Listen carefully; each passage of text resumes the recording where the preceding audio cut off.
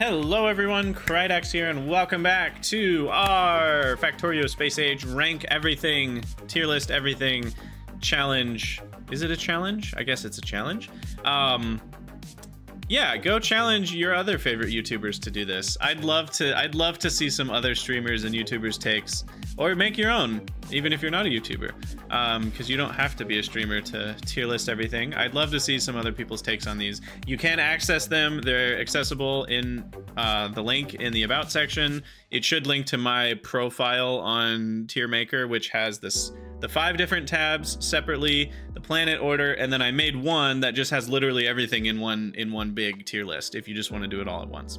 So that being said, uh, we have our grading criteria here. Um, we kind of moved away from these a bit in the last video because it was more about space stuff, which felt a lot more about the mechanics of space stuff, and then also the planet orders, and planets are not items, so a lot of these didn't apply. But we're back to kind of applying a lot of these uh, for our military tab. Now, I will start with saying the military aspect of Factorio has never been my favorite in the sense that it's not why I play the game. I have played most of my 2000 Factorio hours with no enemies turned on. However, Space Age has added a lot of interesting reasons to use military objects that didn't exist before, and I think a larger ratio of my hours will be with some form of enemies turned on.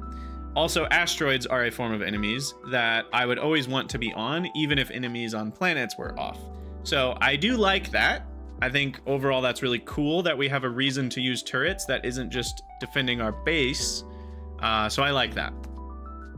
That being said, let's dive in. Um, I don't know if we want to kind of sort some things out for, like, should we do equipment separately? I've kind of gone back and forth between random orders and kind of trying to do similar things at the same time. Let's do this thing. Uh, I don't even know what this is. This is the discharge remote, I think, which triggers this thing, which is the discharge defense. This has got to be a straight up F. Uh, look, I everything in this tab has a use. So yes, you're gonna at me in the comments and you're gonna be like, well, Krydax, uh, discharge defense is actually the strongest thing in the game. And if you just tried it, you'd know no, it's whatever. This could be deleted from the game, and I think two people would cry. Okay, like this is this is probably the most useless. Yes, I realize it has a use, but I'm calling it one of the most useless items in the game. Um, so discharge defense is pretty pointless. Um, I do realize that numbers-wise, they buffed a lot of the crappy stuff. So now, if you end up making it, it's not wasted your time. But why do you need to make it? Like, and that's, I guess I'll get into it now. We got to get into it sometime. That's my complaint about the Factorio military stuff. We have way more hammers than we have nails. You know, like we have way more uh, solutions than we have problems. We have way more types of weaponry than we have needs for different types of weaponry. So most of these things are good at killing biters, but you only need one of them because all biters die to the same things. Um, biters tend to not really have a lot of need for multiple solutions. Usually you need to combine two things to be really effective at killing biters, but even just laser turrets by themselves, and I'm gonna pick that right now, and it's going straight to S tier, because it's all you need, baby. Laser turrets all the way. You, oh, the biters are getting a little close to, to doing some damage, well, you just add more laser turrets. And yes, they need power, but they don't need so much that it's impossible to power them. A little bit of nuclear power, and you're golden. A few accumulators to make sure a bunch can fire at the same time. I do think uh, I'm not going to harp on it the whole video, but that this idea of like it's too easy to deal with biters, so we don't need all these different weapons. Um, that is kind of my take on the military system. And I think Space Age added even more awesome new stuff and didn't add very many new challenges. In some ways, it kind of felt like Pentapods are kind of just like biters again, though they do have different resistances, so you kind of need a few different things. But it felt like they added missile turrets to exist only to fight the one thing that missile turrets are good against. I guess missile turrets are good against two things, asteroids and pentapods. But like the railgun kind of only exists to deal with the asteroids, which feels really weird because I think it'd be really cool if there were enemies that attacked somewhere that you needed a railgun. But at the same time, I said all this in my review video, so I apologize if you've watched both because I said kind of the same things there. I actually think it was like Giga Chad, Brilliant Brain, you know, 500 and 420 IQ for Wube to make it so that the main military challenge in Space Age is asteroids. The reason I think that's amazing is because it makes it so that the thing that you are risking when you fight against this enemy, and I know asteroids don't quite feel like enemies, but I'm going to call them an enemy. The thing that you're risking is just a vehicle. It's kind of an expensive vehicle. You'd put a lot of heart and soul into making these space platforms, but at the same time, it's not your base, it's not your factory that's being risked. It's not like you are under attack, it's kind of like you're traveling through dangerous waters and you have to defend that thing that's traveling but that's not risking your factory on Nauvis. That's not risking your base on Vulcanus, right? Like, and I really like that. I, I've been talking about one of the main issues with Factorio combat is the risk. I've likened it to even programming. A lot of people feel like Factorio is kind of like programming, both in terms of how it feels, how it feels when you fix something, the reward that you get, the number of solutions that there are, the kind of, it almost feels like you're creating functions and calling those functions when you make blueprints. So there's a lot of ways that Factorio feels like programming. And then imagine that if you had a bug in your program, it would delete random lines of code. That's not that isn't fun and that's how it feels to me, the the normal biter defense thing. It's like, wait, if I make a mistake defending against biters, I lose part of my base. That's not a fun threat. I want it to feel important that I defend against them, but I don't want to lose the factory that I've designed. Um, that's not the thing I want to be risking. I don't mind if I lost all of my iron plates. I'm fine with those just taking time to regenerate, but I don't want to lose my factory buildings that are making those iron plates. So that's sort of my take, and it's always been my take. I've been saying it for years now. And I actually feel like Wube kind of did what I had always wanted, which is the thing that you're putting at risk is your space platform. It's not your base, it's not your factory. And now you kind of feel almost worry free. Like, yeah, you want your space platform to live, but if it doesn't, you could make a new one because you already made that one. So, all that to say, I really like it. I really like uh, the new asteroid defense stuff. Um, so, yeah. Ooh, belt immunity, A tier, S tier, even. I As soon as I can make it, I make it. Um, it is kind of sad that there's no easy hotkey for it. If there is, let me know that I'm wrong. Um, but it would be nice to be able to turn it off real quick to be on your people mover and then turn it back on when you get to the end of your people mover because people mover belts are nice, especially in the earlier game or in mod packs where like Pyanodons where you need to walk 5,000 meters just to get past one of your production lines. Um, people movers get even more important and you might want to use them, but not all the time. Anyway, I digress. Exoskeletons, also S, maybe one of my favorite things. It's so fun to be able to just stack movement speed. Um, I'm a big sucker for movement speed in all video games. I don't know about you guys, but like in World of Warcraft, I always loved, and I haven't played for many years, so don't don't uh, try to use the lingo with me here. But you know, back when I played in Burning Crusade, I always loved like playing the classes that got better movement speed. I think the druid or no, not druid. Um uh why can't I think of the name of it? The alchemist thing person. It's not alchemist though. The shaman. The shaman, thank you. Um I'm thanking myself for remembering. the shaman, because you could uh, get like wolf form earlier than other classes would get like their mounts or whatever, and it's like, ah, oh, the movement speed bonus. So nice. Uh, so I loved my my shaman way back in the day. Anyway, I love move speed, so I love exoskeletons. So great. I guess we're ranking uh, equipment right now, so let's kind of keep keep ranking equipment. Um, shields. So shields are interesting. I like. I think shields are A tier, just because you kind of need them like a lot of the equipment feels pretty optional, but if you're doing anything with military, by the way, we're ranking the military tab here. I'm assuming you're playing with biters on, I, like I'm assuming default settings, biters on, we can think a little bit about how Death World might change something or higher enemy settings might, but like obviously if you have enemies turned off, half of this tab is an F. So that's a boring thing to rank. We're not going to rank it like that. So that being said, when enemies are on and you're actually having to fight them, shields do matter a lot. Um, you die pretty quick without them. So I'm giving shields an A, uh, just because of their necessity.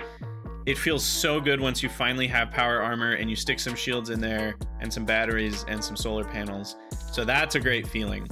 I think tier 2 shields are kind of pointless with quality. I think this is one of those example where quality or having more tiers of shields. I don't think we needed both. Uh, it just feels superfluous. Obviously, they're better than the tier one.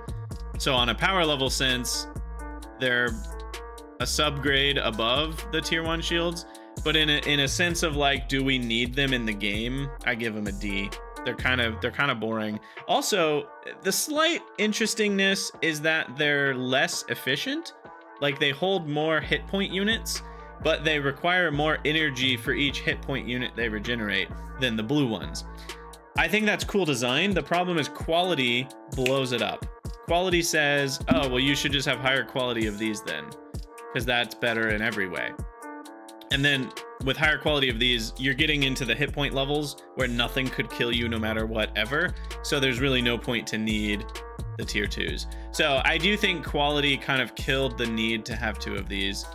Um, so there's that. Uh, let's see. What's next?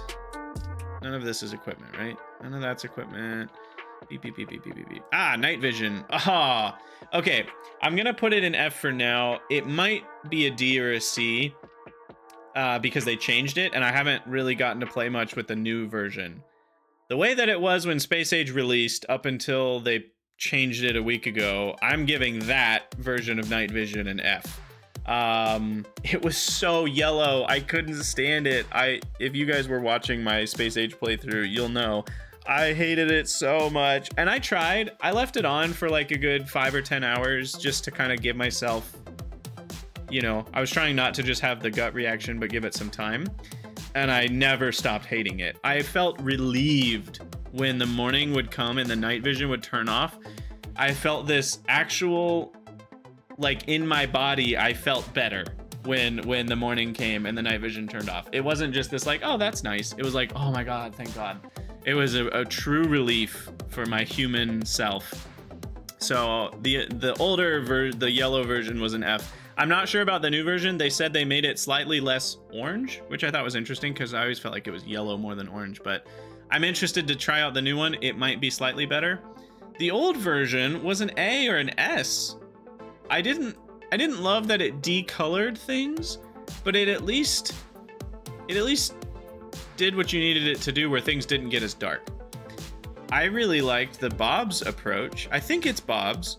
Three tiers of night vision, and the best one was perfect. It would give you vision everywhere as if it was day always with zero color shifting or decoloring. And I feel like quality would be really cool if it did the same thing, where a legendary night vision would just give you perfect vision of everything all the time. I think that would be a good way to reward the player for getting a legendary night vision, and it would be a good way to remove some of the annoyances of night vision. Uh, unfortunately, that's not what we have, so it stays in F tier for now until uh, until I can try out the new one. It'll go at best up to C probably though. One thing I do need to note that I, I haven't mentioned half the time because I don't think I knew this at first. The night vision changes the color based on what planet you're on. I think that's why they wanted to do it that way. The old one would just decolor everything, but I think the new one, they're like, ooh, each planet could have a different like tint that it applies to everything. Personally, I think that that just makes everything worse, not better. Um, but that's I realize that's subjective. Some people loved it. I saw a post on Reddit where someone was like, "Oh my god, can we just talk about how great the new night vision is?" And I'm like, "What planet are you from?" But you know, that's just uh, preference, right? And Dave, I think I'm saying that correctly, but I also am not a million percent sure about what I'm saying. So someone can correct me about that if I'm wrong. But I think different planets have a different tint that are applied. Oh, shields and tanks also are amazing. I agree with that, Maria. Um, okay, so let's look at the RoboPorts. I think quality has done to RoboPorts the same thing what it did to Shields. Um, I think having two tiers of RoboPorts is cool, but you kind of don't need it if you have quality of RoboPorts. I don't know. I know that they upgrade slightly different things. I think um, I think there's one aspect of like what tier 2 upgrades over tier 1 that quality doesn't affect but those are all design decisions that could have changed right? Like you could have made it so that it did affect all the same things and then you just remove this item and you make the quality buffs a little bigger and you're good to go. Um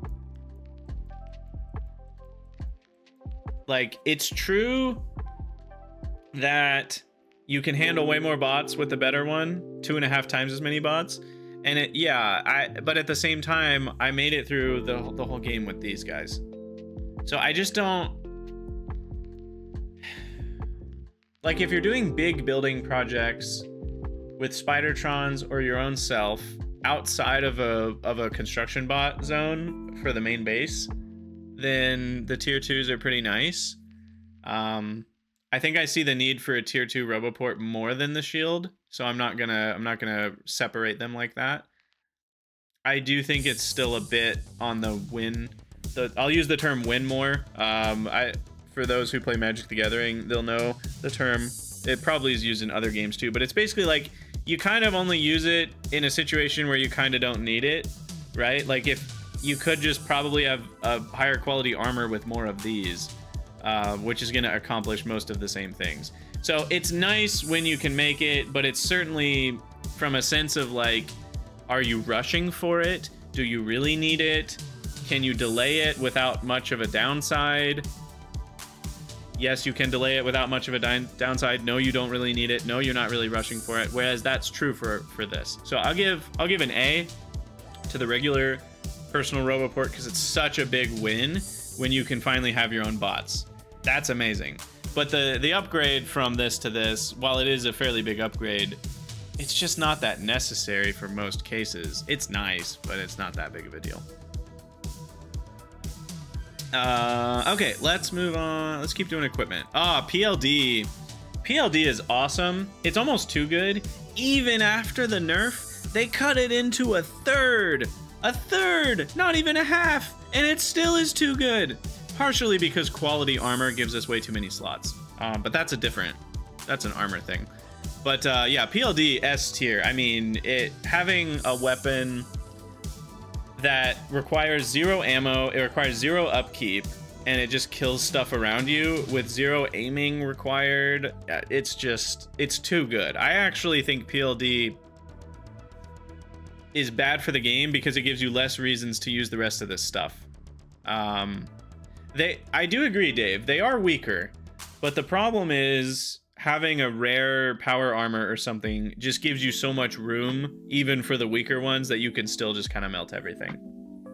Um, so I like they're too good. They're S plus, and I and I think they should be like weaker or or use even more power or something. I think they're still too good. Um, which is funny because they got cut into a third. Not only that, they got cut into a third, and the biters nests got a huge boost to their health. Um, and pentapods even resist lasers. And they're still too good. It's crazy. Um, like, it's true that Gleba was my last planet. I didn't have. All I had was a rare mech armor. So it was rare, which is nice, but it wasn't an epic. And I didn't have high quality PLD, and I certainly didn't have like rare power generation or rare battery. Like I think I had a few uncommon things, but my power generation was just a couple of these normal quality. Nothing crazy. I had some batteries, maybe an uncommon tier 2 battery or something or or 5 and a lot of exoskeletons, but they weren't like the rare exoskeletons to save on space so that I could have more lasers and I just melted the pentapods. And even the stompers, they took a few seconds, like I had to kite around them for a minute, and then they'd die. It really, the PLD is too good. That's my hot take. Um, at the same time, though, if it was weaker, that could be annoying because then it would force you to use these other things, which are harder to use. So it's kind of like one of those like I really like that there is a nice easy solution to just stuff your armor with PLD and you win, um, but it also might be bad for the for the uh, what's the word I'm looking for? Like it might cause the player to not have a chance to try out some of the other solutions to weaponry. All right, uh, these guys. Uh, it feels so good when you finally get your fission reactor. I'm gonna put the fusion at C. It's fine as an upgrade. Uh, it is a fun reference, but you know that's been. This was previously this icon, so we've kind of always had this in the game. It's just now a, a the icon for the fusion reactor is this one, which is what used to be this uranium based fission reactor.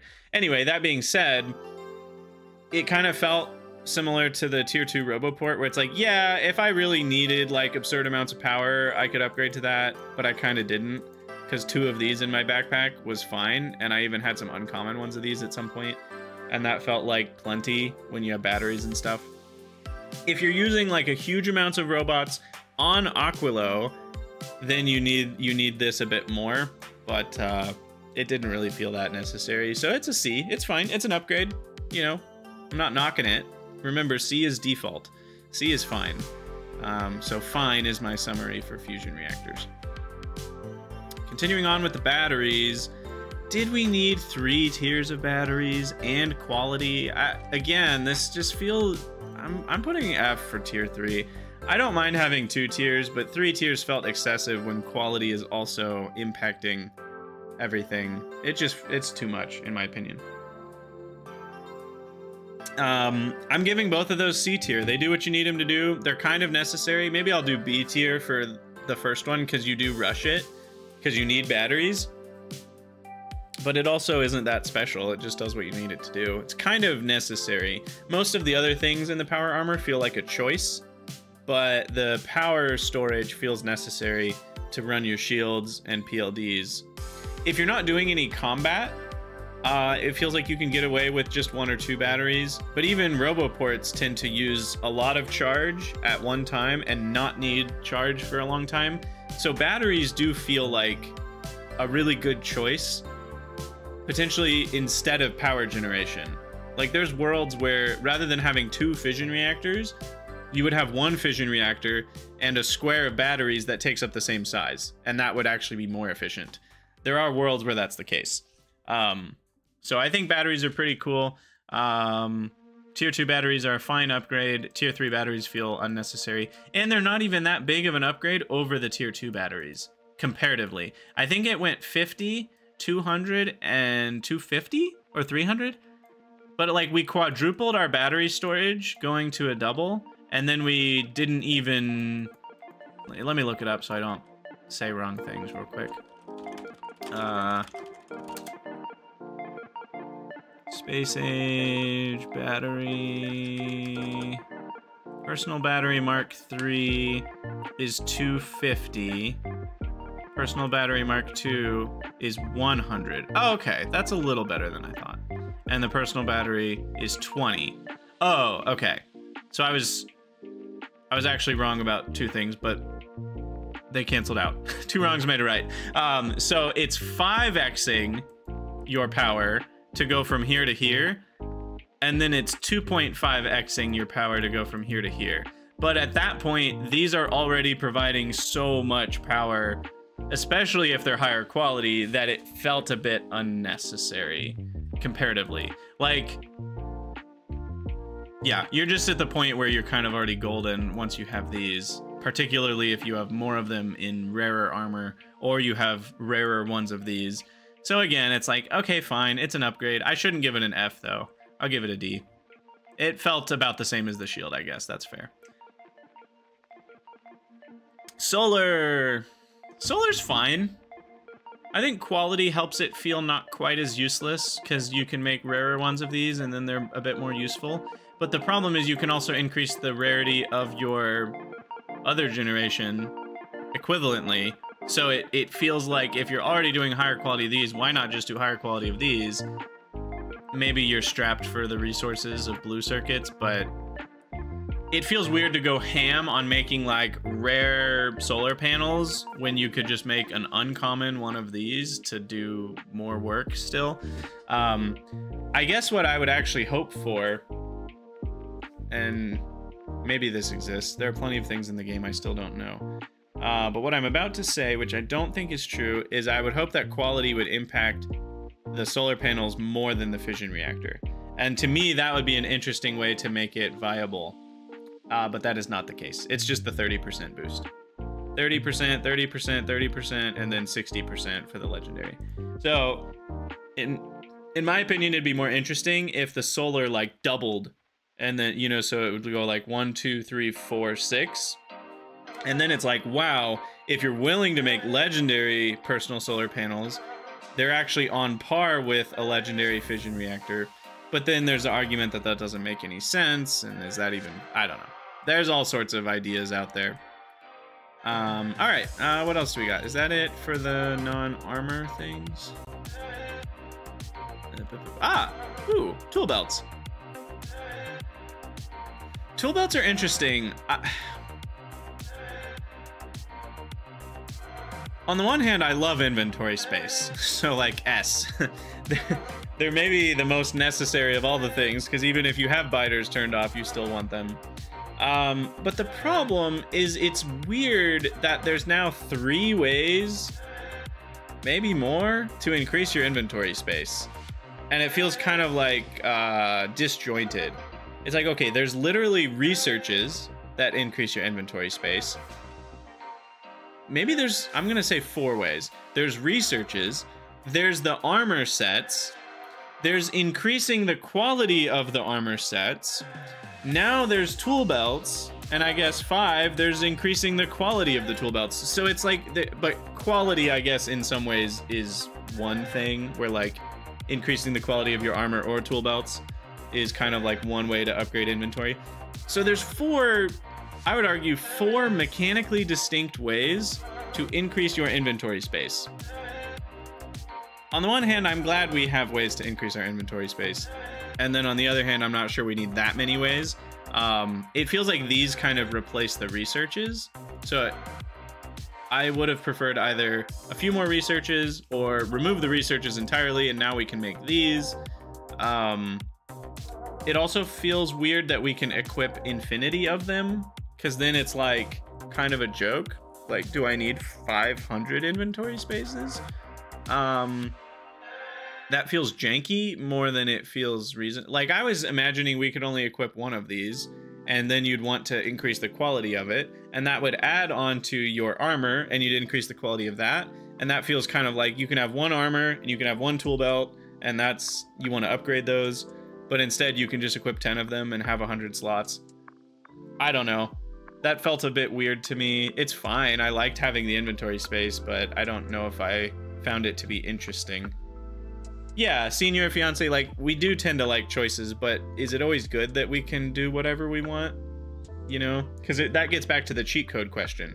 If you can just type in, give me 10 million iron as a choice, that is a choice. Players like choices, but are they all good choices always? I don't know. you do want 500 slots if you're mega basing with quality and no extensive RoboPort network. Yes, there are situations where you want 500 inventory. But even then, you could already get pretty good with a legendary mech armor with one legendary of these. That's already kind of a ton of inventory slots. Um, I could even see a world where they allow you to equip only one belt with the lower armors and then two belts and then maybe three belts with that. Um, I don't know. Because, yeah, I do think quality bloats out your inventory. But I think that's more of a knock on quality than it is a plea for help for adding more inventory slots. All right. Uh, moving on, because we got to finish this some sometime today. Uh, I think we're ready to move to the power armors, because the rest of the stuff is weaponry. Yeah.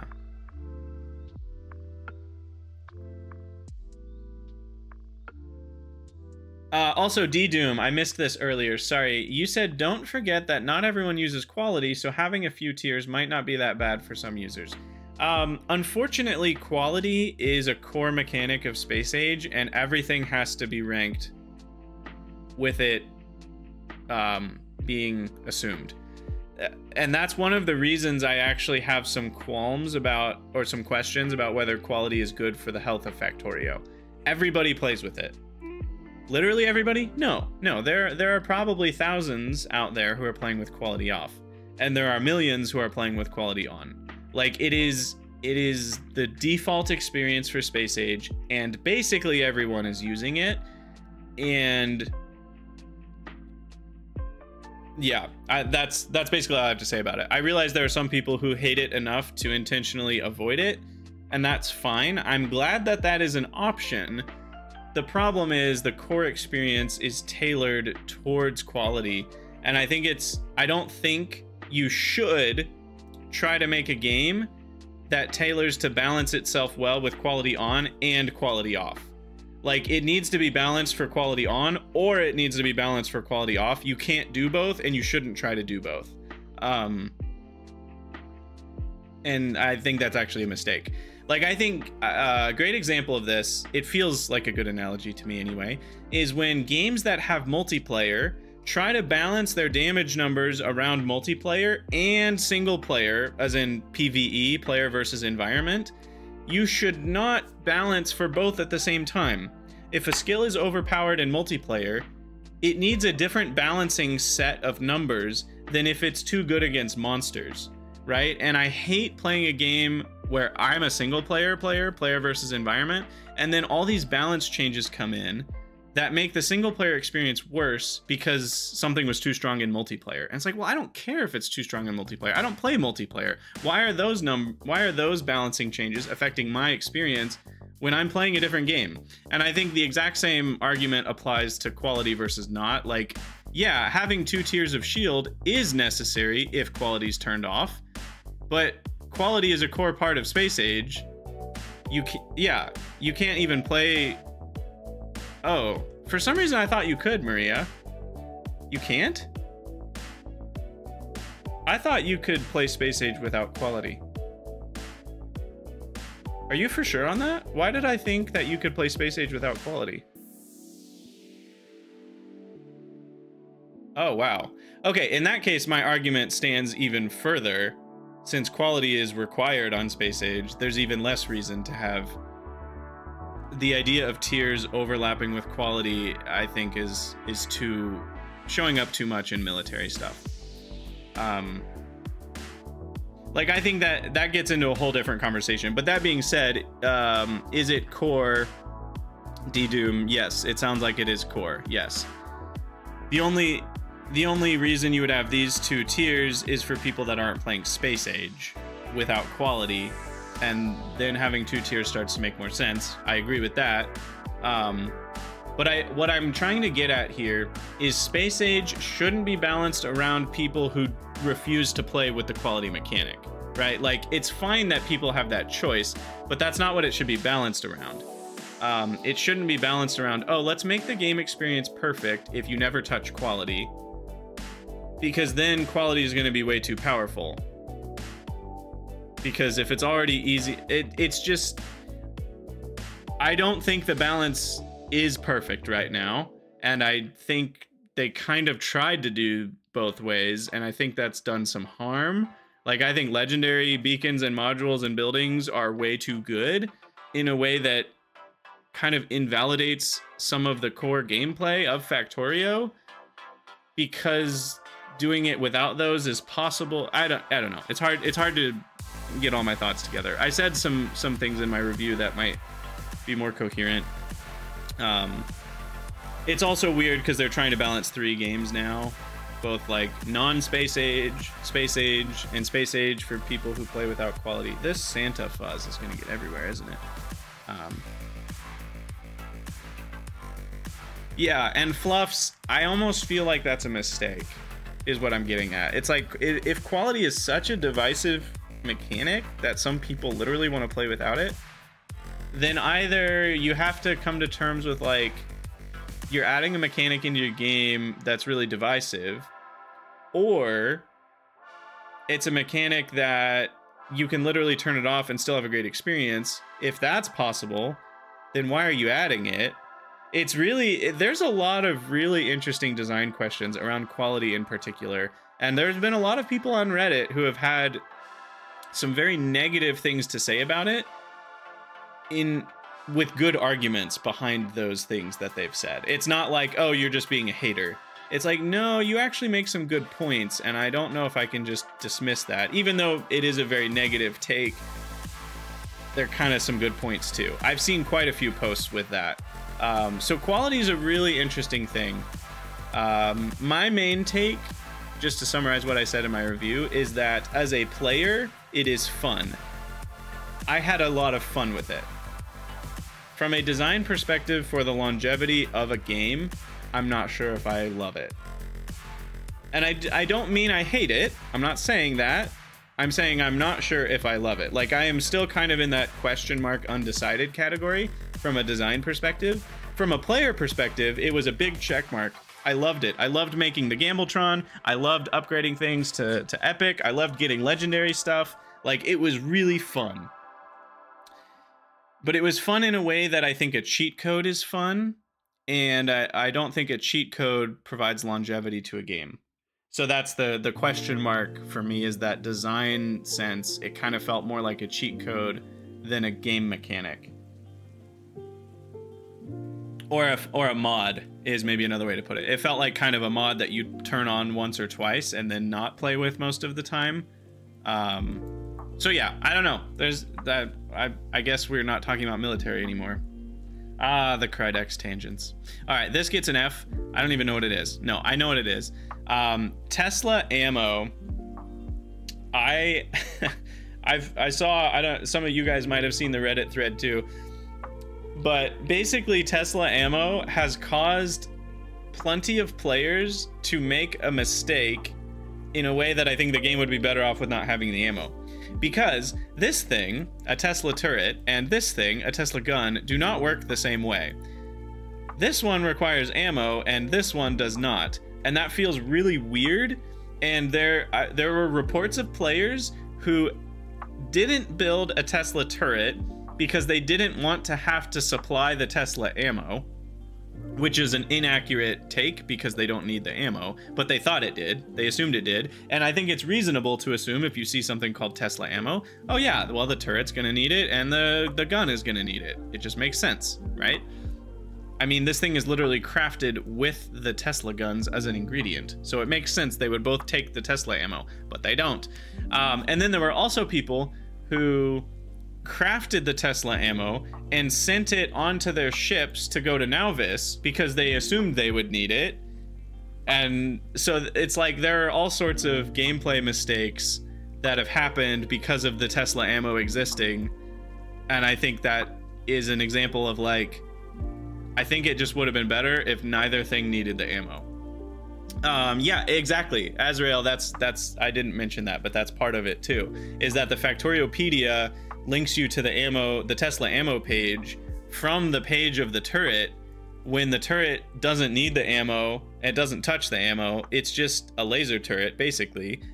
Uh, but it links you to the ammo page, which implies it it would need it. So I think the ammo was a big fail, the Tesla ammo. Um, the game would be better if this thing just pulled energy from your suit or if it just had its own little infinite energy. I mean, that would maybe be a lore fail if this thing didn't require ammo, but I think it would be better gameplay. Yeah, Maria, that is exactly what I'm talking about. you sent 5,000 Tesla ammo to Nauvis thinking the turrets would need it. It They do not. So in that sense, I give the, the ammo an F. Um, the, the Tesla gun itself seems cool. Are we ranking the weaponry now? I feel like we need to rank all the personal weaponry together. It does feel easier to do categories for the military thing. Um, maybe I should do radar. Radar's kind of a weird... Are there any other really weird ones like radar that we're going to rank totally in a different way? I don't think... I think radar is the only thing that feels more economic than military.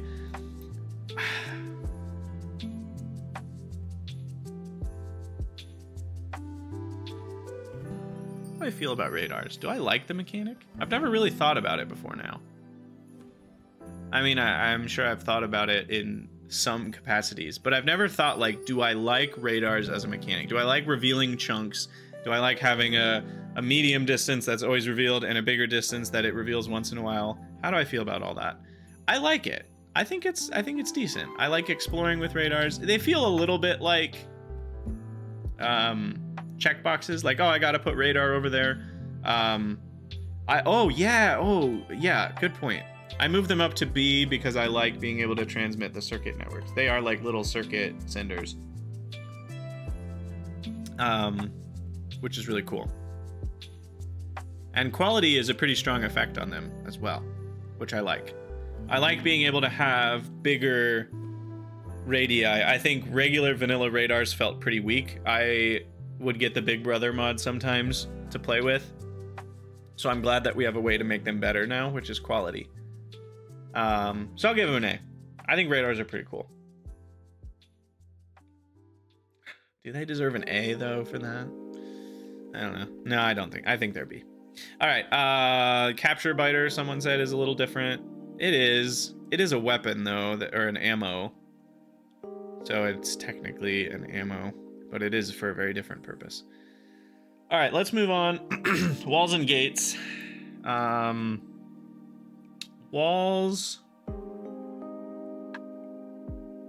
They do what you need them to do. I'll give them a C.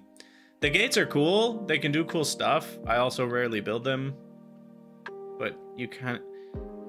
This just continues to kind of be the major theme of the whole military tab. Walls kind of aren't even really that needed. With all the new weaponry, you can easily make between lasers and missile turrets and Tesla turrets, you can easily make a defense that kills everything before it even gets in range. Not to mention, quality turrets have further range, which even further reduces the need for walls.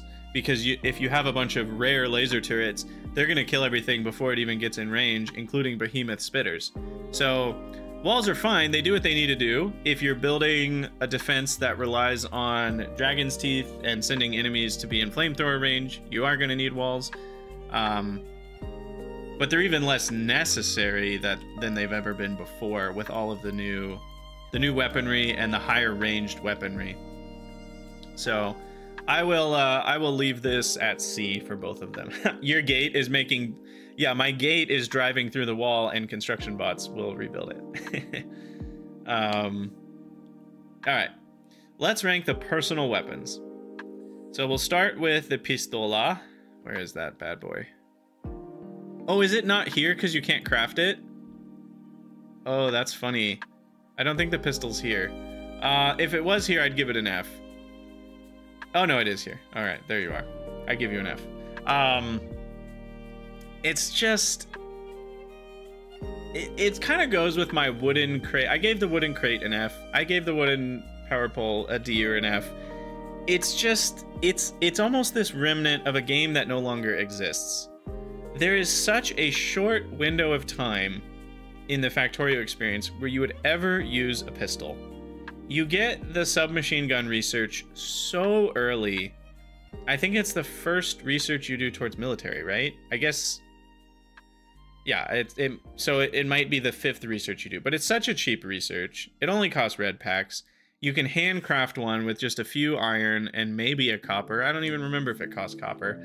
So it just it feels like the pistol is just this like token idea of we'll give you something so you can shoot some bullets at the biters which feels important. I do think that if the biter if you had nothing to defend yourself with, that would be kind of annoying. But would it really be that bad if they just spawned you with your submachine gun? Because it, it's kind of one of those upgrades that's so necessary, it feels more like this feels like the core basic weapon compared to the pistol. The pistol feels almost so bad that you're just trying to get rid of it, and this is your basic weapon. So I give the pistol an F. Your goal is just to not have one. Um, and yeah, it's also kind of annoying because you get a new one every time you die. and yeah, you can't make legendary pistols. Yeah, there's all pistols have all sorts of issues. Um, I give the submachine gun a C. It does what it needs to do. You can kill biters, you know, in the early game, especially when it's just small biters attacking you. You can fend off an attack with just your weapon, which is important. And that's why yellow ammo gets a C. Same reason. Does exactly what you need it to do. Um, I almost feel like bumping that up because it's just so important now to fight off asteroids, you know, but necessity doesn't make a higher grade. We already determined that. Um, most of the rest of these are going to get fairly low grades because they're completely unnecessary. I don't think I made any of them. But we'll, we'll, we'll still chat about each one. A lot of this is hearsay. This is me talking through others' experiences and what I know to be true about them, or I, well, I could be wrong, but what I think I know to be true about them, and how I've seen other people talk about them, and how necessary I think they are, or how helpful I think they are. So the shotgun is more powerful than it's been before, but I still think it kind of holds this place of like, why are you going? I mean, like by the time you have a shotgun, you could almost make a car which has its own machine gun, which is probably going to be more necessary than the shotgun. I think shotguns are good for clearing biter nests at this point because they're a bit better at that. They did bo boost the damage quite a bit, but it still feels like one of those like we're not playing a shooter game. We're not playing Vampire Survivors. Do we do we really need multiple projectile options that more or less do the same thing? I just feel like this is an area where we have too many choices, and the basic shotgun feels like an unnecessary one. The combat shotgun is kind of dope, so I'll give it a C. If you've got your combat shotgun and piercing shotgun rounds, that actually feels like I'm getting something done. I'm kind of like melting a and we used to use this back in my day, because um, I'm an old man. This used to be how we cut down trees because we didn't have grenades. so the combat shotgun is kind of awesome. It actually feels like, uh, what's the right word? You feel powerful. You're like, ha ha ha ha, yes. Like when you hold down the spacebar and it's just like, boom, boom, boom, boom, boom. Like it feels cool. So I give it a C for that. Um, even though in some ways it still isn't fulfilling that different of a role than a machine gun, it does feel significantly different and it feels significantly more powerful. And so it, it earns its spot, I think. Um, pistols have a rocket capacity of 10,000? Wait, what? As in, you could put 10,000 of them in a single rocket going to space? What's that's hilarious. Um, the flame, the personal flamethrower. This is a weird one. Because flamethrowers are like simultaneously immensely overpowered, but the personal flamethrower feels so niche. I give it a D. It's fairly powerful when you want it for certain reasons. Um, but most of the time you just don't need to make one because you're using vehicles to clear biter nests and not your like by the time you have this you are probably using other things to clear nests. But it, it works if you need it to. Um, and the ammo, I'll just put the ammo with it. The ammo is not really special here. Um, the, the personal rocket launcher feels important both to do the capture thing and also just like explosive rockets from your own personal self feel like a decent way to clear some nests. Like it, it earns its spot. Um, and then we got the last two. These two are interesting. I didn't use either of them, and I felt no need to use either of them. That being said, the Tesla gun is pretty cool, and it seems useful if you are doing hand-to-hand -hand combat. Oh yeah, and nuclear bombs from the personal launcher, also fun. Um, so yeah, there's there's a little bit of like these feel like they exist for fun, not for necessity, and they accomplish that role. The new railgun actually seems overpowered as heck for killing dem I'm gonna put it a rank up on power level alone because you can kill big demolishers with them, and you don't even need to do anything special. I actually think they're too good, uh, but that's a different topic. So all that to say, uh, as far as the weaponry goes, I think most of them are fine. I think we could do away with pistols forever and having two shotguns feels unnecessary to me. Because it, it's like do we really need three different projectile weapons? Um, plus all the different ammos making more even more combinations of those things. Again it feels like the game has more solutions than it has problems which is to some level fine. At some point it feels like we just have too much. Um anyway. Uh moving on let's talk capsules. Capsules feel uh, like another one of those polarizing things.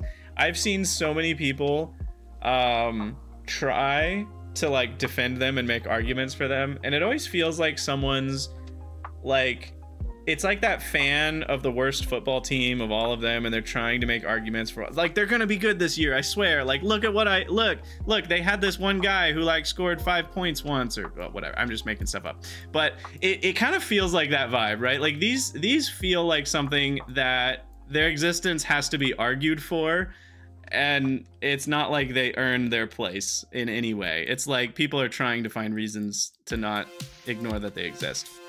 Yes, I've seen videos of people destroying uh, demolishers with the poison capsules. It does look like it works, but there's like a hundred ways to kill demolishers already. Uh, I don't feel like we need more. Um, and the slowdown capsules, again, it's like, oh my gosh. Okay, so I guess you can use one if you really want to go turn it, it, it feels like you're trying to turn fighting a biter base into an ARPG, but like we have Path of Exile, we have Diablo 3 and 4, we have Path of Exile 2 coming out tomorrow. We don't need an ARPG in Factorio. That's not why most of us are playing it. Most of us can just grab this fuzz. I'm going to be eating Santa hat fuzz for the rest of my life. Um we don't need an ARPG in Factorio. Most of us are fine to just grab one weapon that's good enough, whether it's explosive rockets, whether it's a tank, whether it's a, a car with its machine gun.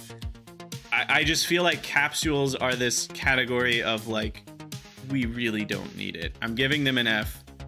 Please yell at me in the comments, but I'm giving them an F. Um, on that note, we'll move to grenades because those are kind of a similar mechanic. Grenades feel at least slightly more useful because they are an area of effect weapon before we have rockets, and they're good for clearing trees. Um, cluster grenades are a big enough upgrade over regular grenades that they feel like a different thing, so I'll keep them at the C level. I don't think they. Sometimes it feels like the variety is unnecessary, but here I think the cluster grenades are good enough. Path of Exile 2, I'm going to be slamming it. You better believe it. Um, so, yes. Yeah, and and some of these rankings certainly change on Death World, and I realize that's true. Um, I don't have a ton of Death World experience, but even in my Death World experience, I think most of these actually still apply. I think. Granted, my Death World experience was not on 2.0, so I, it's a little different now with the nests going higher in health. It probably, I'm guessing the shotgun itself because you don't have this one yet. I'm guessing this shotgun is probably higher on Death World. It feels completely unnecessary on non-Death World, though. All right. Moving on. Mines. This just got a change in today's patch. Uh, you no longer can use them on your space platforms as defending against asteroids. I'm giving them an F. This feels like the most non-Factorio weapon like, yeah, you're doing defenses, but you're defending against infinite waves. Biters keep regenerating new biters, so the idea of placing a one-time use mine just feels so weird. I've... I'm gonna go on a slightly wider gaming tangent. I have played very few video games in all of history, all of my history, not the world's history, but like I've played probably thousands of video games in my life. I, I've played a lot of genres. I'm not just like a guy who only plays one game. I, I get bored with games very fast, which means I play a lot of different games from shooters to RTSs. I mean, all kinds of games where mines exist. I've played those types of games. I have found very, very few games where mines feel like a mechanic that works out well. Because they often feel like gimmicky to the point where it's like, well, I have a mine and they're powerful, so I guess I'm gonna drop the mine in a hallway and try to lure the enemies into this hallway. I'm gonna place, like, it's just, they they feel like a mechanic that works better for multiplayer, where you're actually playing um, with other humans' brains and you're using what are arguably actual military tactics. Yes, you're doing them in a gaming way, but you're still like it's a brain versus a brain. Like mines feel like they fit in actual human against human combat, both in real life as we've seen actual wars do, but also in gaming. But I don't think in PvE environments where you, the player, are going against either a computer player or against a computer opponent, I don't think mines end up playing out very well. And I'm trying to think of a single game where the mines were good. And I feel like there have been a couple. I'm just trying to think of what they are. One example, weirdly, one example that comes to mind is Descent 2. Bear with me. Descent 2, if you guys even know what that game is, it's a great game. Uh, Six Degrees of Freedom, it was like back in the 90s, or maybe, I think it was in the 90s, yeah. And you would fly a ship through the tunnels, but like you, it was like a 3D shooter um, because you were in like a little ship. It was a really cool design because it kind of mixed the like linear-ish type levels. It wasn't open world. You couldn't just fly anywhere in space, but it was still like a spaceship flight. So the it was like imagine like the old Doom game, but if levels could go up, and a hallway it's not like a second floor it's literally just up. And now your whole orientation is like well that, now that's the floor. It was really cool what it did to your brain. Anyway that being said the game had these smart mines where you would place a mine and if an enemy ran into it it would not only explode and deal damage but it would shoot a bunch of plasma bolts at enemies that were also not next to the mine. So it could hit enemies like halfway across the map or whatever. And also games where mines can move on their own and like target enemies and follow them that tends to be better. I realize this is a complete tangent. I just think mines in games are generally overrated. They're almost never used especially in games where you're not playing versus human opponents. So there's my uh there's my hot take um moving on uh what else do we have I guess we'll do ammos next. Or maybe we'll do ammos as they come up. We'll do ammos as they come up. We'll do robots next. The robots are another category of really cool and really unnecessary. Um, it just feels like another fun way to tackle biters. You can easily avoid building any of them with what feels like no downside, but if you do build them, they work really well. Like, they're insanely powerful. The destroyers are nuts. If you guys have never upgraded uh, combat robot count a few times and just made a hundred of these guys follow you, you've never lived. They melt biter bases immediately. It's really cool. At the same time, I come back to this idea of like, but why? Like, why do you need them? You already have tanks with explosive cannon shells that melt bases. You already have Spidertrons to melt bases. You already, like, you already have so many ways it's just another way. It's fine. I like them. They're cool. They feel unnecessary. It also feels unnecessary to have three types um, when they all kind of do the same thing. Um, I think paring it down to two types would probably be good. Um, the defenders and the destroyers are basically doing the same thing. They're both following you. They both make a cloud. It's just these guys are shooting bullets. These guys are shooting electricity it mattered less before because it was only against biters and biters didn't have very much defense against either thing. Now it's kind of weird because depending on whether you're fighting demolishers or biters or pentapods, you might use one over the other, which is weirdly cool, but then it makes these feel less good because they're not better against everything, if that makes sense. Although I guess do demol? No, I think these are still better against everything, right? Nothing resists electricity other than uh, asteroids. So I guess the these guys are still the, the top, tippy top. I give them I give them a C because they're cool. I would give them a B, but they're unnecessary, so that knocks them back down to C. And these guys just get a D. They're whatever. You use them if you want. They're fine.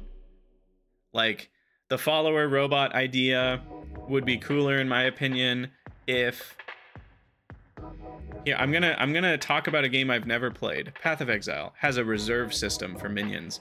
So like if you're summoning minions, you have so much that you can like basically spend, but once you've summoned the minion, that just stays spent. So you can summon like a hundred worth of minions.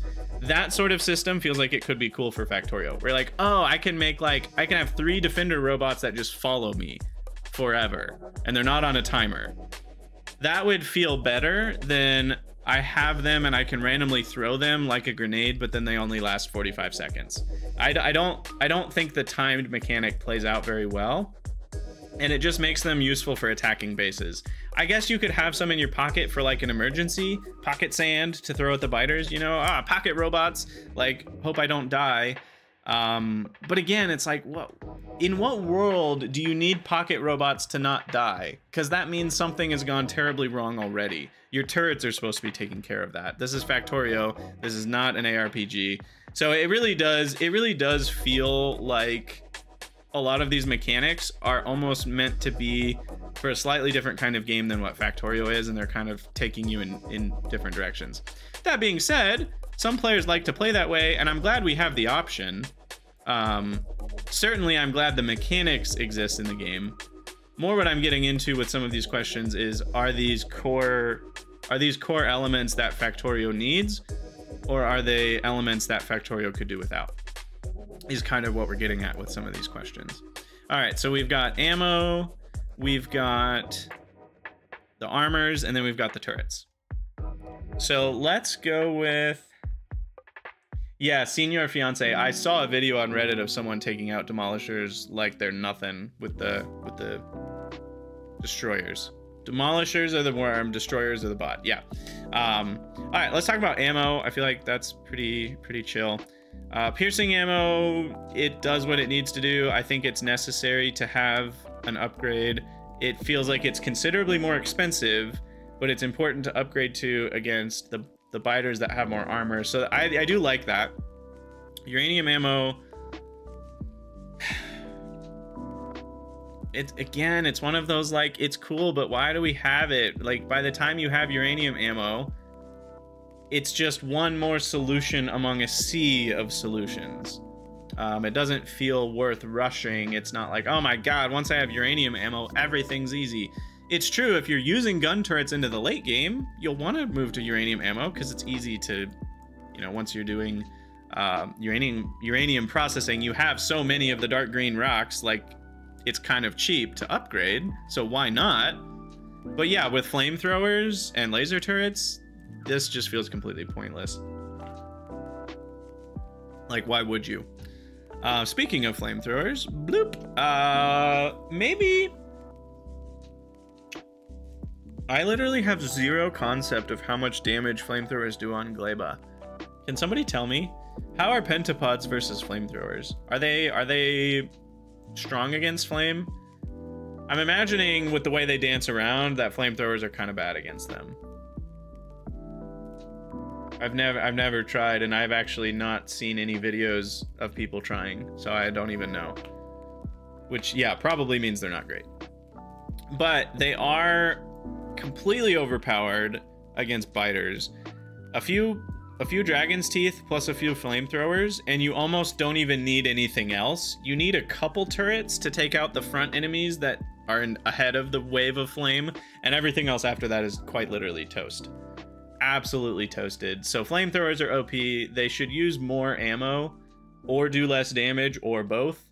Um, Another hot take is I don't think damage upgrades should be infinite. It feels weird that you can just keep upgrading damage forever um, because it completely changes the balance of stuff. It feels like the end game balance is already there with like biters stop evolving at behemoth. So your weaponry should also stop evolving at some point, and then it there should be some amount of strategy that's required to make things work. And if you want to play with more enemies, you need to have a better strategy or a, or more weaponry or something. but it feels like kind of weird because it's like even on the highest settings, you can just out upgrade everything because the enemies stop getting harder. Um, you can't make them on Gleba? Wait, you can make oil on Gleba, right? No, I guess you can't. I guess you only make lube from jelly. Can you, can you... Hmm. You could do coal... You could do coal liquefaction. You could make coal from carbon and do coal liquefaction. It sounds really inefficient, but flamethrowers only need like one billionth of one unit per 10 billion damage they deal. So I bet that alone would be enough oil for uh for flamethrower turrets. They're S on power level alone, but I don't I actually don't like how powerful they are. And I actually feel the same about laser turrets. I wish I needed more than just a wall of laser turrets on Nauvis, and that really is all you need, even for behemoths. All right, moving on with the ammo. Um, wait, why am I going turrets or are we doing ammo? I got distracted. We were doing ammo. I don't know how we got onto turrets. Um, okay, cannon shells. This kind of goes to the tank. I think I gave the tank a B because now it has, um, now you can put exoskeletons and shields in it. I love the tank now. I think it's in the perfect place of a manually controlled biter nest killing machine, and it actually does it really well. It's actually part of why these things feel lower now is because you don't it used to feel like it was better to hunt biter bases on your own, on your own two feet. But now with tanks where they are, I feel like tanks are actually just better in almost every way, and you might as well use tanks. And I think the ammo, I think the explosive shells are great. It is true, these shells are nice for killing nests only, but you kind of end up taking out everything a little better with the explosive shells. Um, these have a use, a pretty strong use of taking out small demolishers in literal seconds. Like two seconds, maybe. So that actually feels worth it. These kind of feel like by the time you have them, they're pointless. Because at that point, you've moved on to automated ways of taking out enemies and defeating stuff. They're fine if you want to use them, but that's true of most of the things in the D category. It's fine, but you don't need it. Um, rockets, I give. All right, vibes alone. I think, I think we gotta go A level for atomic bomb. A for atomic. They're really powerful. You don't need them though. I can't give them an A. I'll give them a B. Um, I didn't even make a single one in my last playthrough, but they're really cool. I'm glad they exist. Like, I think if you're gonna add a weapon that's not necessary to the game, it needs to be really effing cool, right? And that atomic bombs, they do meet that bar. Um, oh yeah, atomic bomb, the asteroid. I mean, obviously it would be overpowered, but it'd be sweet. I was thinking you were gonna say we send them to a space platform and drop the bombs from space. Kind of like the orbital ion cannon vibes. It would be too powerful, but so is half the stuff we have in the game already, so does that really matter? Um, what about these? Are these fine at C? I actually feel like they both have their place. You need to avoid using the explosive rockets anywhere where the rockets might come near your base. But they're good in all the other situations. So it actually feels like, for once, a reasonable trade-off between the two. And these deal more single target damage, which uh, can matter for things like stompers. Like, if your main goal with missile turrets is to take out stompers, I actually think it's better to use these. Um, partially because they might be on top of your base and you'd blow up your own base, and then also just because they deal more damage. You'll kill the stomper faster. Alright. Railgun ammo. It's the only type. So it just exists so railguns can shoot. It's fine. It's a little on the cheap end, actually. Though it kind of, the balance of railgun ammo needs to be done carefully because you need a lot of it on your space platform. It's not like something you just defend your base with a little bit here and there. So because of that, I think it needed to be not too expensive. Um, yeah, I don't, I don't know how they could have done that differently. artillery ammo. I love artillery. Don't like that the ammo only stacks to one. It feels unnecessarily cumbersome. Because by the time you've got artillery, you have ways to solve the stack size of one by just having more trains or more bots. I kind of like we I I feel like I could complain about the cost, but I kind of like the challenge for one. It's like, oh, if I want to shoot my enemies with hundreds of artillery shells, that's actually going to cost me something. Um so on the one hand, I kind of like that. On the other hand, it feels a bit prohibitive, and it feels like like artillery is one of those things where it feels like an accomplishment once you've got it set up and it's actually defending your base. And now the artillery can actually take care of all the biters that are in the range, and that feels really cool. But I also kind of am like, then that means artillery is not going to happen for a long time. So it's a bit of a a bit of a pro and con. But artillery is really sweet, so I give it a B. Uh, the targeting remote. I, actually, the targeting remote has a little bit of its own thing we need to talk about because it's not just the ability to shoot your artillery. It actually lets you shoot artillery further than the automatic range. I think that was a brilliant move. I think that's a great design decision. Um, because it allows you to still feel like you have some power as a player to reach out and kill something. What what game was it that had a weapon? I don't even remember what, whether it was a railgun or a sniper or a rocket launcher, and the the like flavor text was like reach out and touch someone was that like Quake 3 Arena or something? Uh, I'm sure someone in chat knows what I'm talking about, or you can Google it. I don't remember what it was. But that's kind of how I feel about the targeting remote, where it's like you can you can let yourself kind of I get to go tell that base it's dead now, you know, and that's really fun. So I think that's actually a really great design decision um, that you can manually target further than they automatically shoot. I like that. On that note, artillery turret's gonna be. They're satisfying to set up. I think locking them behind Vulcanus feels okay to me. That at first I was a little wary. I was like, that feels a bit too much like rail, not railroading. That's not what railroading is. Uh, just a bit too much like hurdles that the player has to go through to get to artillery. But I think it's fine um, the way it works out. It is kind of sad that you can't solve the biters before you leave Nauvis, because that's kind of what it feels like you want to do. But without artillery, you can't really easily keep them out of your pollution cloud. So it kind of feels like you're left a little bit scared of Nauvis getting overrun while you're gone until you get artillery set up. Um, but then the unfortunate reality that still remains true is a wall of laser turrets is all you need. Um, so there's a part of me that wishes they gave you artillery before you left Nauvis so you could have your fun with it. Because uh, by the time you kind of need to set up an alternative to artillery before you leave Nauvis. and then by the time you have artillery, you now definitely don't need artillery because you've already set up the alternative solution. So I'm actually going to knock artillery down to C purely for that issue that we now have with it. It's kind of, I bet fewer players are going to ever use artillery now because of what they've changed.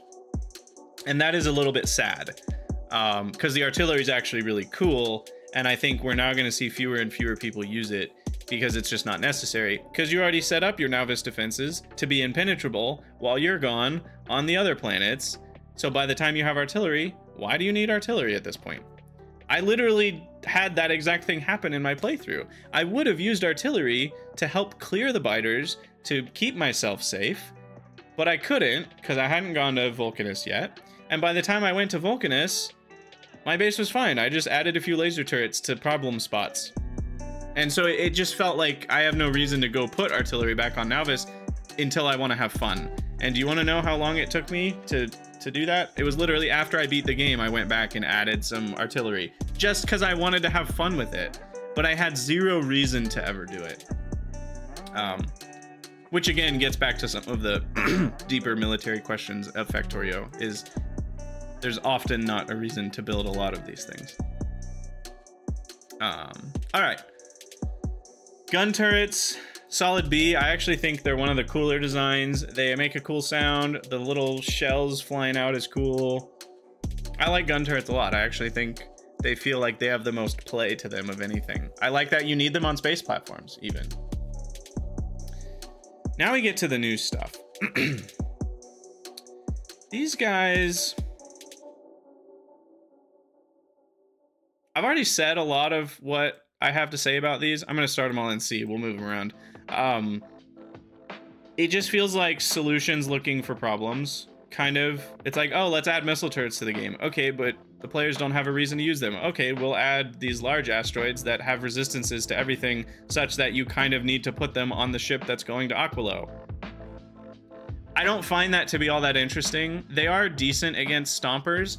I ran into a problem where there even a wall of these cannot kill stompers alone. I kind of found that frustrating um, because it feels like you're supposed to need them against stompers, but it actually turns out that this is the king against uh, stompers. So going to Fulgora before Gleba is even more of an issue, and going to Gleba to get missile turrets is completely pointless because they're not good against anything. The only reason you need these is for big asteroids, because they're not even good enough to take out stompers by themselves. Because stompers are fast enough that by the time they lock on and aim, the stomper's already on your on your butt. Um, so I, even with a wall of missile turrets, it wasn't literally like a every square was a missile turret wall, but it was a lot of missile turrets, and the stompers were still getting through and destroying stuff. I would still kill the stomper. It's not like I lost my base, but that being said, I think missile turrets felt the most railroady of anything.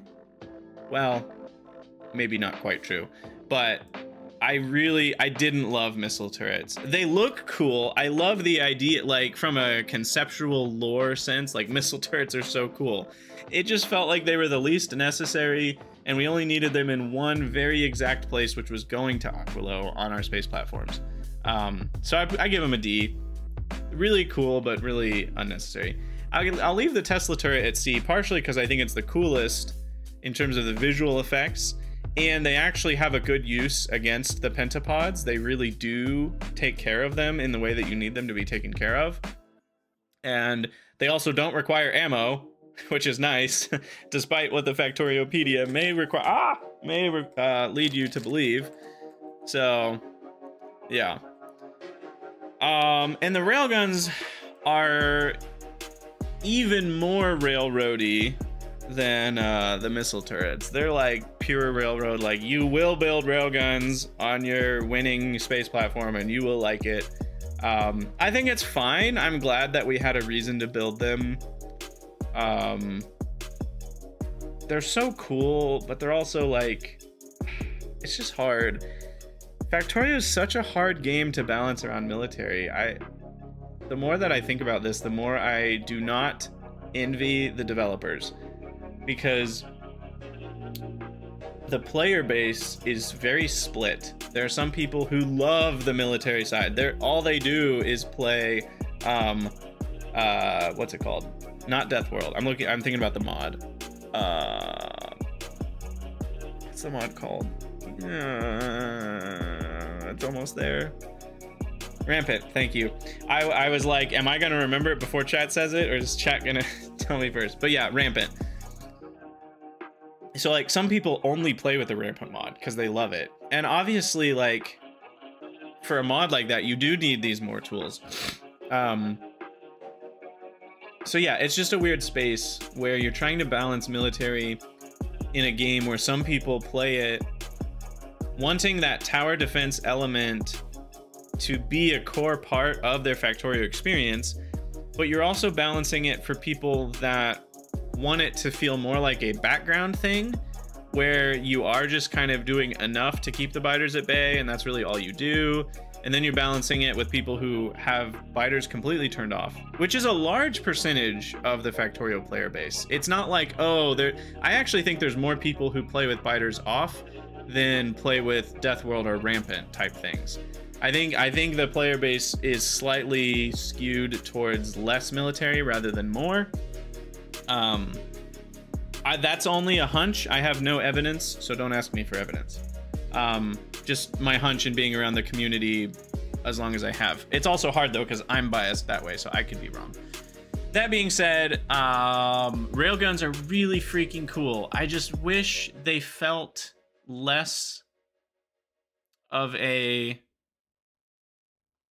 it felt like they came up with like, ooh, a railgun would be cool. Let's put a railgun in the game. Okay, but why would you ever make a railgun? Okay, let's find a reason to, to require the player to make railguns. These giant asteroids, done.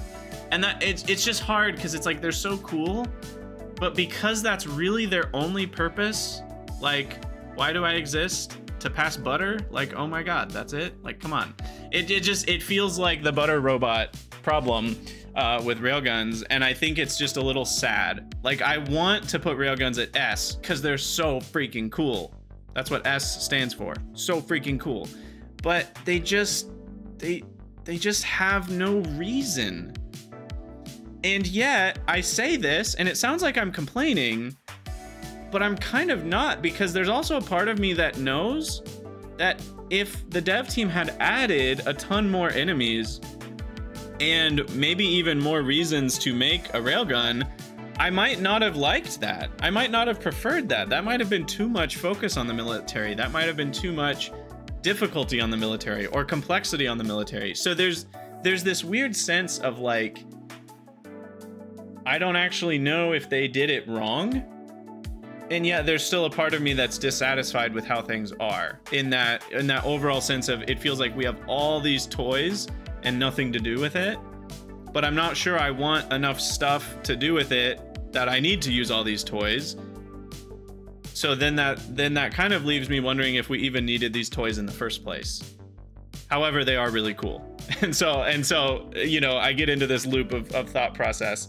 And I know I've talked to enough people that I know some of you are in a similar space. I know there are some people that disagree and they love it and they think it's great. I know there are some people that that think it's actually all negative and and biters have always been you know a lot of people say military is the weakest part of factorio i'm interested to hear how those people how those people feel about space age um because i've always been somewhat in the middle um anyway all that being said we will rank the armor and then i think we will be done with the video.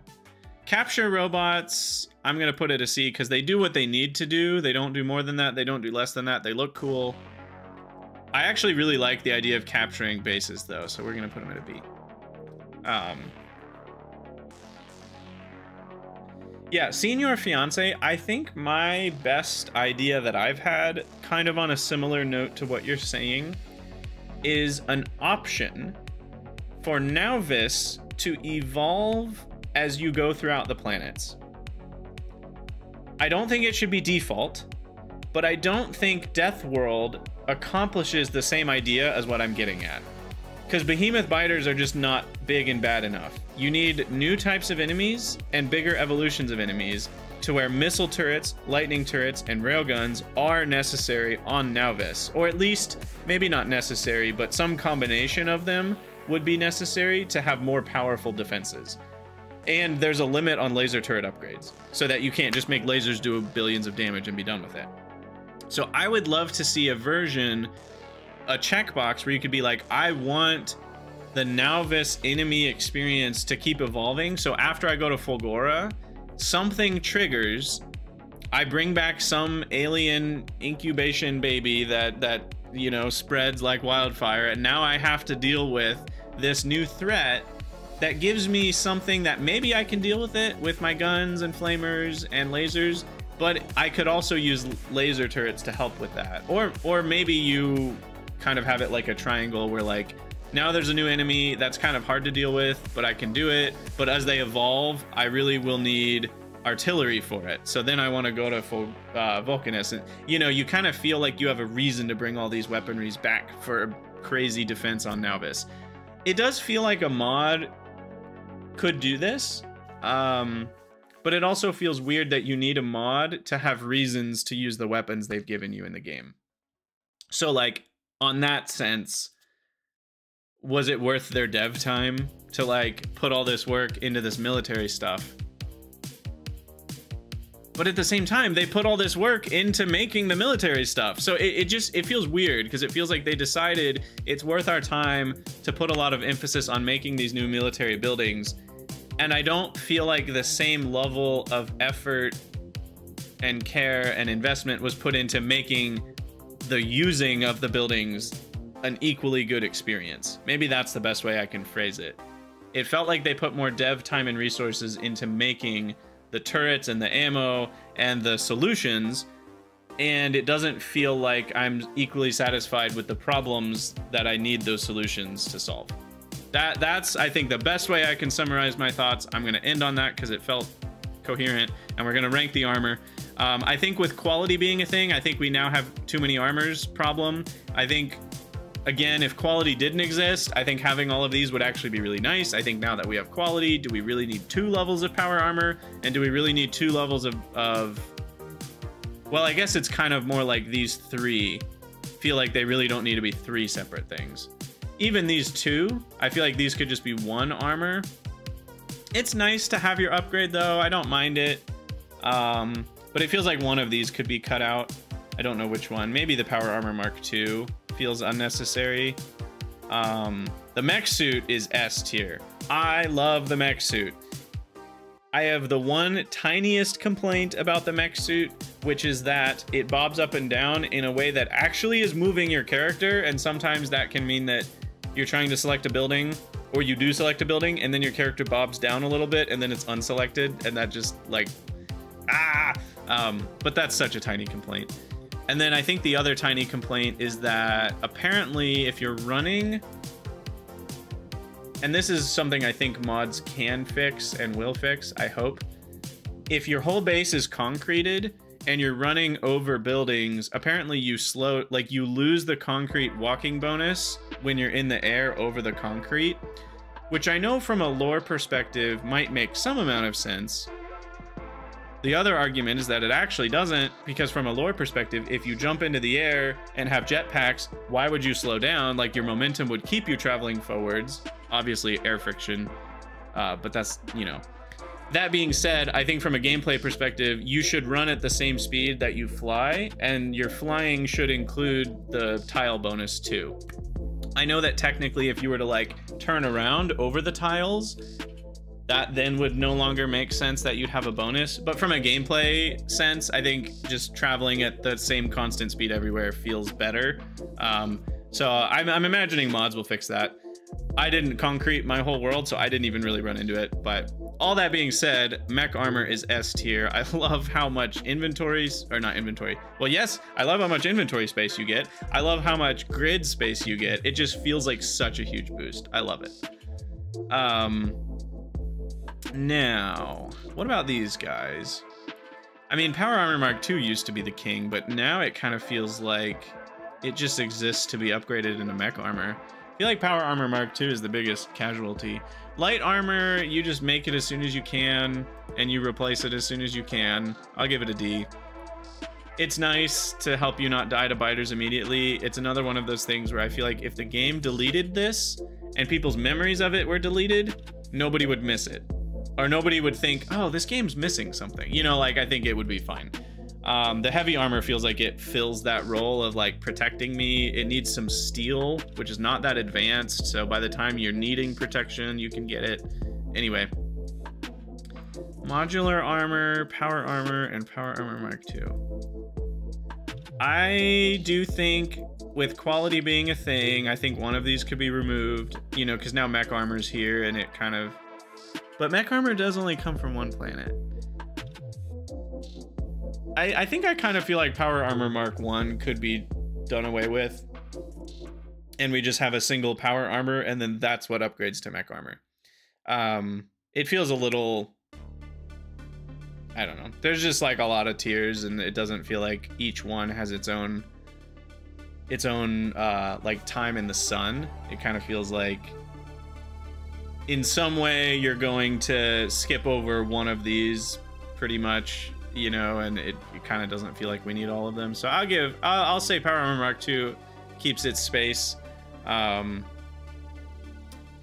maybe at a B, because you use it until you have a mech suit, and that's potentially Gleba and and Vulcanus. If you save Fulgora for last, you ain't seen that mech suit for a while. So Power Armor Mark II feels pretty important.